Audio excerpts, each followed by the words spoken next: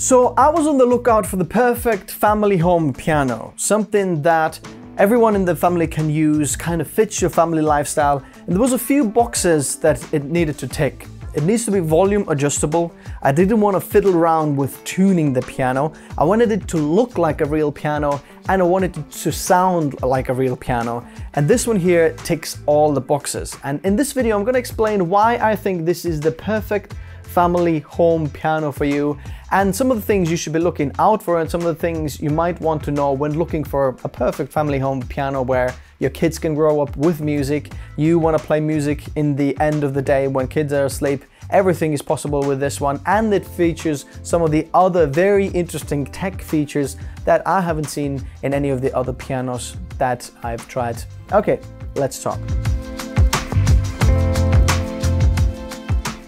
So there's five kind of areas that I want to dig a little bit deeper about this piano. Number one, when I was looking for a piano, I went to a few stores that, you know, have pianos laid out there and I tried lots of different pianos and a lot of them looked like electric pianos and just like they didn't look like a nice piece of furniture because pianos have always been like the grand pianos and really nice upright pianos have always been like part of the furniture as well. It must look nice. Like this one here is polished ebony. Look here. By the way, you can get this piano with different colors if you want to get that one. But I went with polished ebony just because it looks more like the professional pianos out there, like a really nice upright piano. And when looking around in the store there, I very quickly realized that there isn't that many options out there and a lot of them cost a lot of money if you really want to get to like a really nice and beautiful looking piano. They cost like upwards of three grand. But then I came across this Roland LX series of pianos. There is three pianos in this category and we're gonna talk about later on which one is the best one, but this one is the middle one, the LX 706. There's 705 and 708 as well, which are slightly smaller and sm slightly bigger. But when I looked at that piano, at first I thought this is an acoustic piano because it kind of looks like an acoustic piano. And the actual lid was set up like that and I thought, hmm, um, I can't even see the buttons. Actually, from this angle, I can see you've already see the screen over there. But if you look down on the piano like this, from this type of angle, then you can see that actually it does look like a nice acoustic piano. And when you try to play this, you thought, wait a second, This does sound like a real piano. And that's when I was pretty much sold on this piano. And then when I started looking further on this piano, there's so many nice little features that just make this piano the perfect piano for you. So let me talk about some of the features that are very interesting. So now you know that it kind of looks like an acoustic piano, right? It's got a very nice design, but it's also like a little bit minimal and like a bit more modern design because there's like this design that goes around this type of, um, it's actually speaker there, Apart from looking very nice, there's a few things. First of all, the lid opens to like two positions. One of them is kind of like, you know, three quarters of the way, which by the way also automatically turns the piano on. Once um, you've opened the lid, there's an auto turn on feature, so the piano is already on. And then when you want to lift the lid further back to actually reveal the buttons, you've got access to a lot of different sounds and all the, you know, settings and everything on the piano, which you can fiddle around. So in here you can see USB port if you want to connect this to your um, computer and actually record MIDI or something like that out of this. This is memory stick USB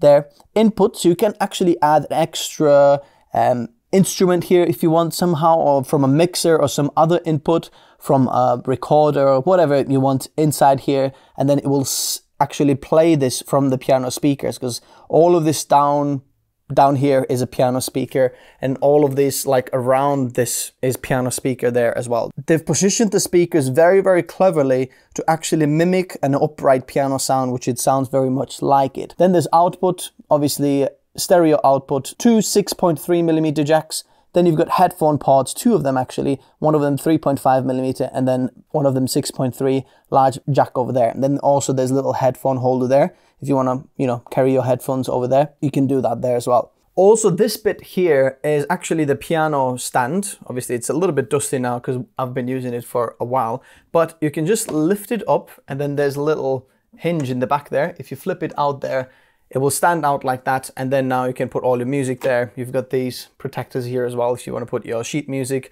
or a tablet or something here to actually learn from some sheet music or actually an app as well because this piano comes with an app as well and uh, you can explore that more on the website i'm not going to talk too much further in that one because I think there's other features that are uh, cooler about that. So let's have a look at some of the sounds here now on the piano because one of the coolest things about this piano, how nice it does sound. So first of all, let's talk about the piano section over here. You've got piano, E piano, strings, and then other.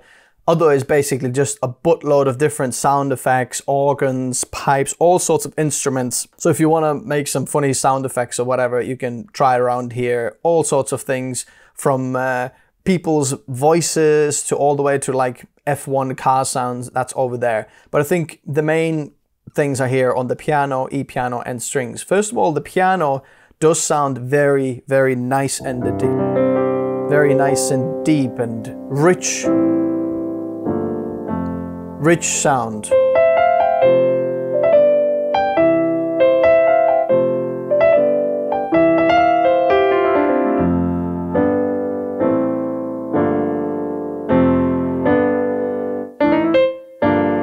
As you can hear, it very much sounds like a real piano.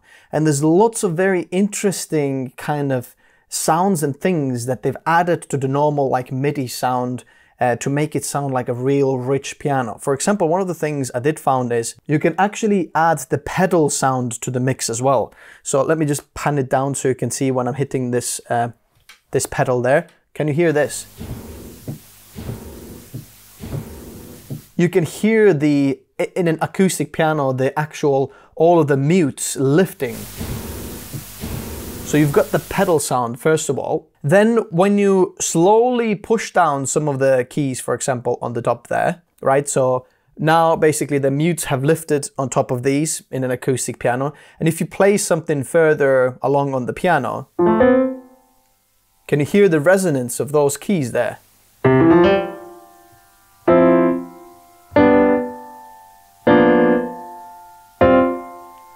That's absolutely amazing there, first of all. There's lots of these little things that they've added to the sound to make it sound nice as well. You can hear the hammer as you're playing the piano as well.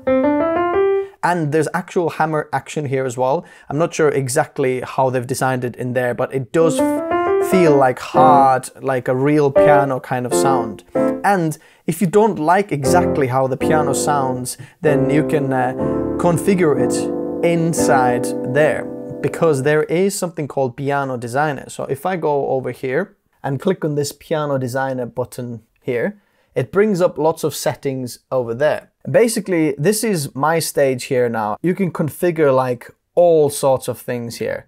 You can um, configure like the echo and reverb of the sound. You can choose how much reverb there is. The key touch, how light and heavy it is, completely tune it to your liking how brilliant this is, mellow or bright, master tuning. That's the interesting thing though, the master tuning was actually off for me uh, from the beginning. From the factory it comes like 443 or something like that megahertz or something random. So when I was playing around or playing along with some music, it feels like the music is out of tune even though just the master tuning of the piano was off. So I'm not sure why this wasn't 440 or something like that. There's temperament, key, hammer action, there's all sorts of things there as well. So when you go to edit the piano tone tool, which is inside the piano designer, if you enter this button there, you can go into like lid. I fear how the piano lid, how much do you want it open, how much that sounds there, key off noise, hammer noise, duplex scale, full scale string resonance, key off resonance, cabinet resonance, soundboard type, damper noise, soft pedal. There's like all sorts of things you can actually tune to make this piano sound really, really nice. I like the European Grand more, and if you're familiar with obviously Roland sounds, then this is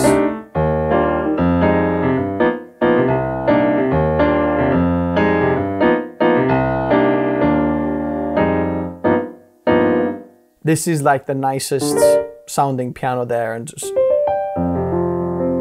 Sounds very deep and beautiful. Whatever you want to play there.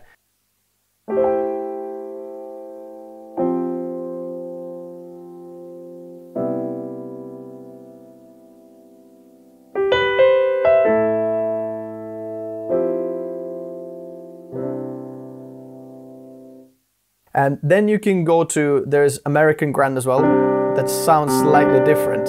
And to me, it sounds a little bit more like Yamaha pianos, if you've played with any of the Yamahas. It's a bit more like brilliant and not as rich and deep, but I prefer the European Grand. It's just like a mellow and a little bit of brilliance there, but that's nice. And then you can have it, um, there's like four versions of the pianos there. But then there's also something called split dual, where you can split the layers and then have something else behind there. For example, if you want to play piano and pad, do some uh, like worship music stuff or something like that, we can play something like that. You can hear like the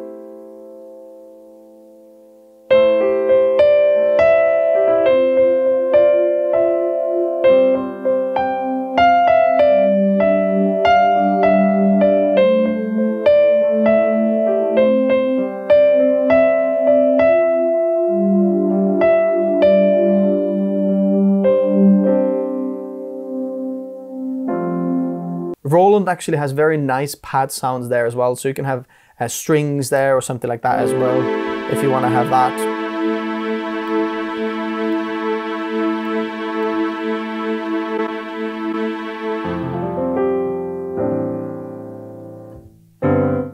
So you can easily like play around with this one and mix all the sounds together, have two different layers to play with. And um, I haven't figured out exactly how to adjust the volume of different layers because sometimes you'd like the pad to be a bit louder or quieter. I don't quite know how to do that. I'm sure there's a setting for that as well somewhere. If not, Roland, you should update this on the software to you know give that option here as well. Then there is the E piano, which um, which are very nice.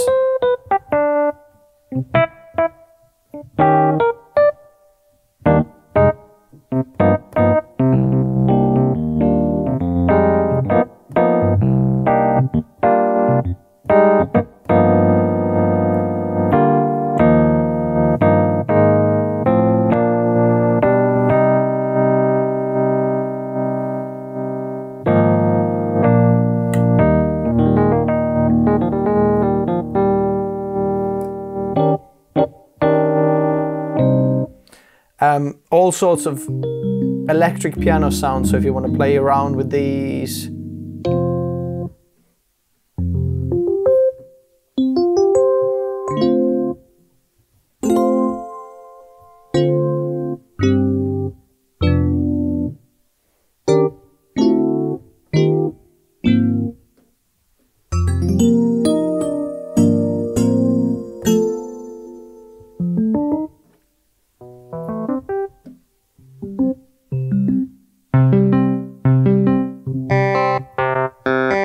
There's even clav there as well, like.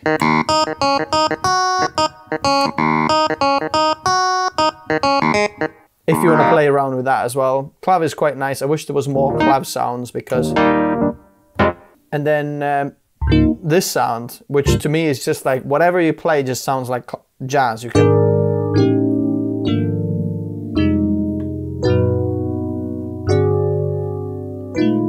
You can just play absolute rubbish.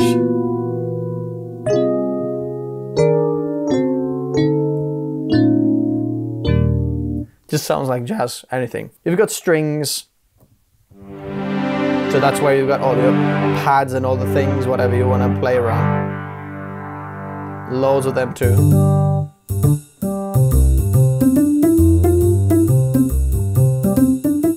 So another thing you can do with this piano is connect your phone with this piano. So you can go to the settings, go to Bluetooth settings, and then pair your phone. And then whatever you play from your phone, it actually comes, uh, you know, from the speakers, which is really, really cool.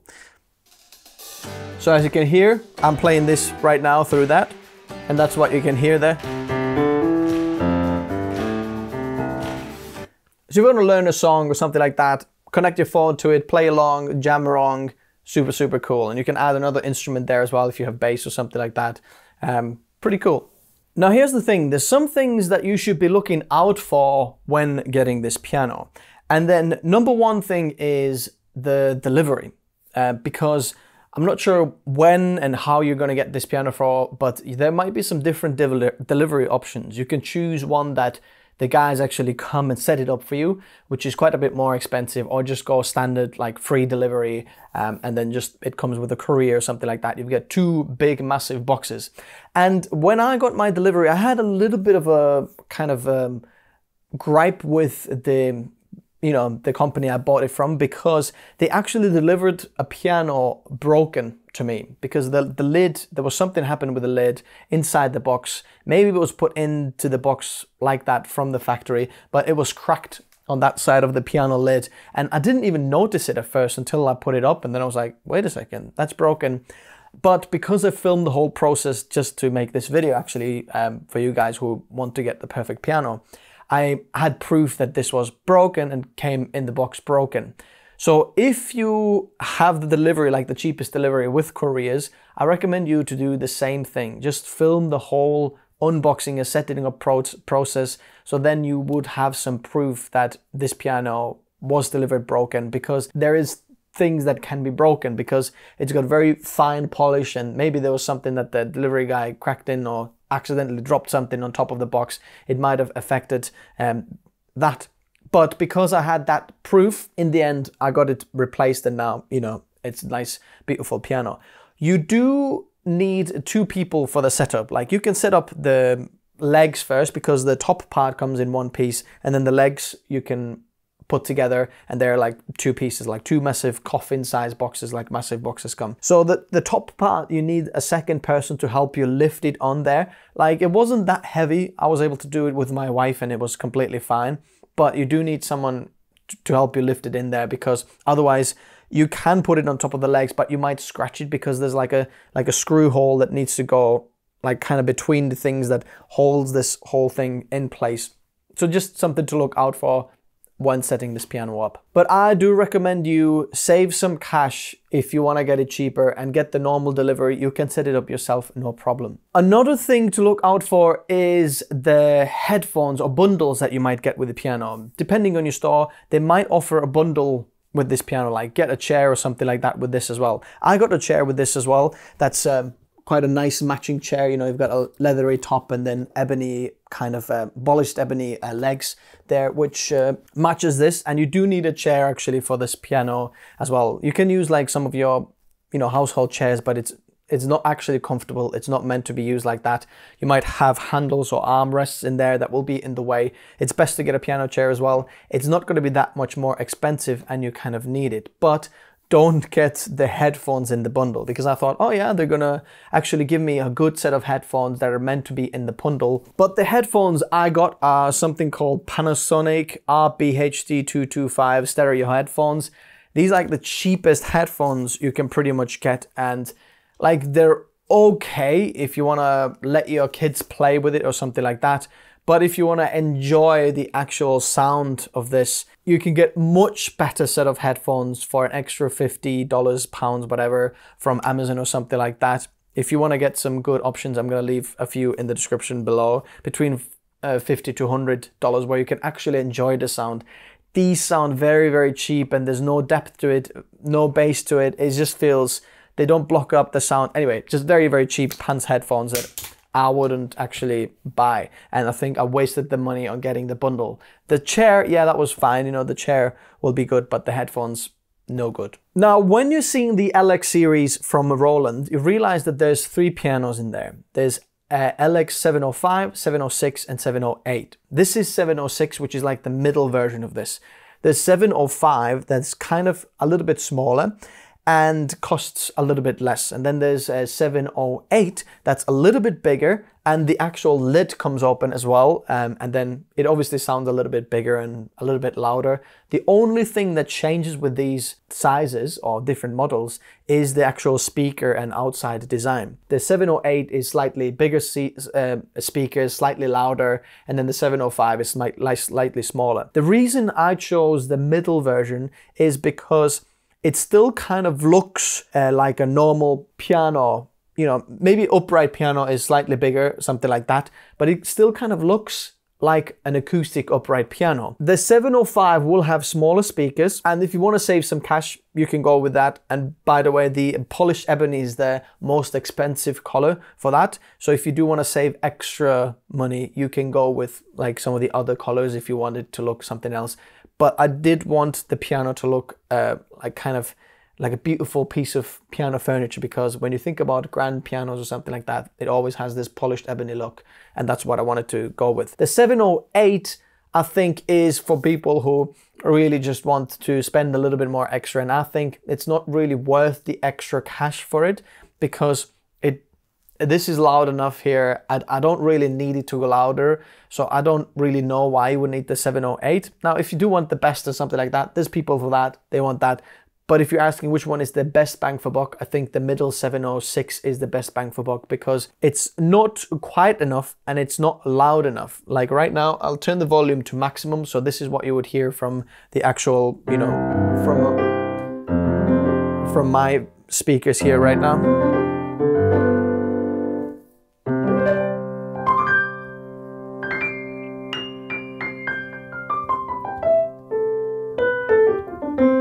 So it doesn't go that loud, but it kind of sounds what an upright piano this size would sound, which I'm quite happy with. So perhaps when you've got a bigger room, bigger hall, maybe you've got a bigger um, kind of house where you want the 708 to be, then maybe the 708 is a better option there as well. Now, if you want to make sure that you like the sound of and feel of this, obviously I really recommend you to try to find like a local piano store or instrument store and then find that piano, the LX series Roland pianos, and then try them out. There is a cheaper version of Roland pianos that you can get as well, but they sound nothing like this and look nothing like this.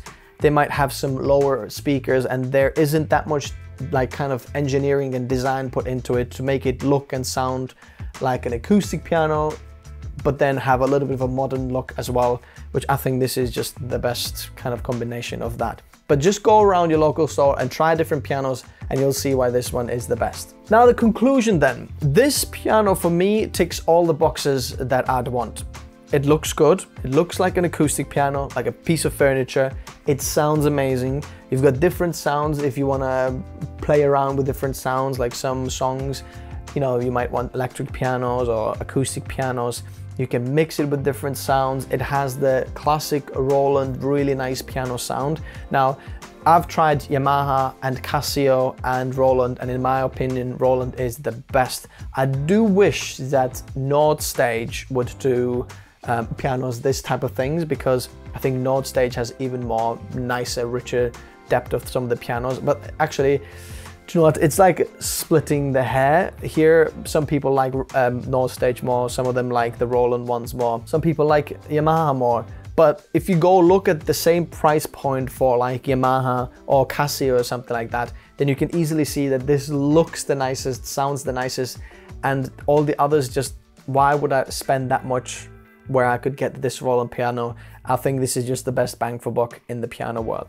I can put the headphones on and enjoy the piano in the end of the day when kids have gone to sleep, not worrying that I'm going to wake up the kids. If the kids want to play the piano, it's too loud for your house, you say, kids, put the headphones on, enjoy it, the kids can play around with different sounds there as well if you want.